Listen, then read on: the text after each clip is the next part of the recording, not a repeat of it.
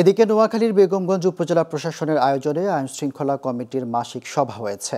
মঙ্গলবার দুপুরে উপজেলা পরিষদ সভাকক্ষে এ সভার প্রধান অতিথি ছিলেন নোয়াখালী তিন আসনের সংসদ সদস্য আলহাজ মামুনুর রশিদ কিরণ।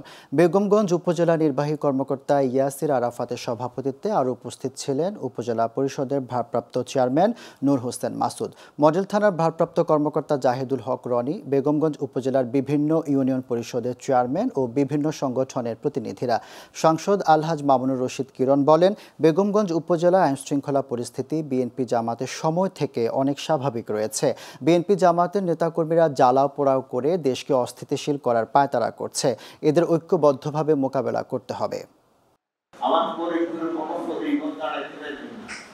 আমি বলে দিব, দুই তিন দিনের পরে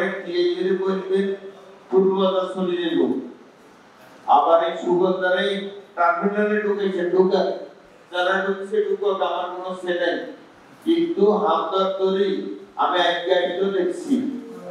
এসকেলিয়া সেটে আপনার কথা যে এখান থেকে ঢুকি যদি পূর্বপাঠে বাইরে যেত, বা পূর্বপাঠে ঢুকি বাইরে যেত, তাহলে জিনিসটা আর হতো না। সব গাড়ি টার্মিনালে ঢুকানো যেত